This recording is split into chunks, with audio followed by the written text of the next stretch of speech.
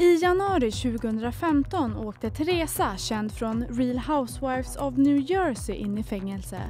Hon dömdes då för miljonbedrägeri. Men på slutet samma år släpptes realitystjärnan. Men nu kommer nästa smäll.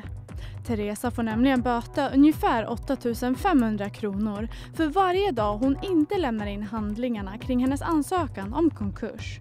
Det skriver sajten Radar online.